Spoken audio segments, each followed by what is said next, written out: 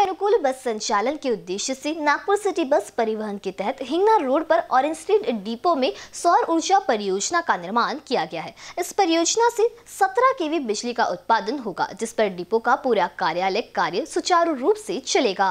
साथ ही बिजली की लागत में भी भारी बचत होगी, ऐसा परिवहन समिति के अध्यक्ष जितेंद्र उर्फ़ बंटी कुकड़े द्वारा कहा गया। परिवहन समिति के अध्यक्ष जितेंद्र उर्फ़ बंटी कुकड़े के हाथों ऑरेंज स्ट्रीट डिपो के सौर ऊर्जा परियोजना का उद्घाटन किया गया।